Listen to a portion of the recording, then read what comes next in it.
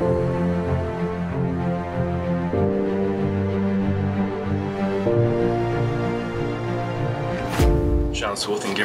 here, and doing a comparison of the Macro Puff and the DAS Parka from Patagonia. Had a lot of people ask on the YouTube channel what the difference is, uh, which was warmer, and how they fit. So, this is a Macro Puff right here, size large, and it compresses up very small. It's got 135 grams of Plumafill insulation. This is the DAS Parka, and this is not the right stuff sack for it. I lost the stuff sack on Vail Pass about a month ago, but it gets up just as small. So let's look at the DAS Parka first. 10 denier Pertex Quantum Pro with a polyurethane coating. And this is extra large for reference. Both jackets have double zippers. Easy to use. Nice high collar right there.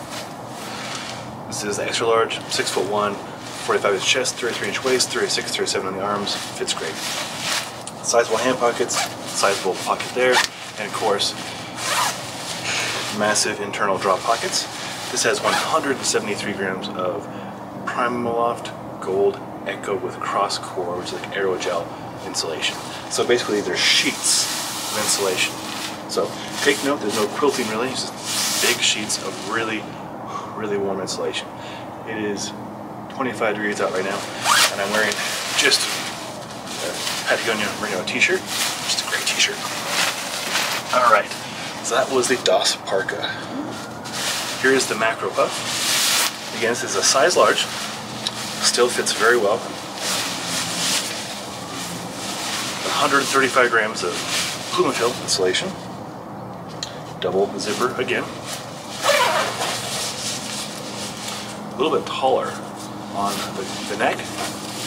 And really cool, has elastic on the hood right there. So, hand pockets, of course, just like the air jacket, you adjust it right there. And again, 36, 37, all the same specs. Much tinier pocket up here, higher, and hand pockets right here, and then of course two drop pockets on the inside. So which one is warmer? The DAS Parka is warmer. It also has 40 grams more insulation. This jacket is about 16 ounces, one pound. This jacket is 20 ounces. So, four ounces heavier, packs up just a little bit bigger, but definitely is warmer. This has quilted insulation, the Plumafill down-like insulation, and this has panel insulation. So hopefully that comparison will help you determine which one to get. This one's 450, this one's 400. Sean Sewell, gimme.com. Until next time, take care.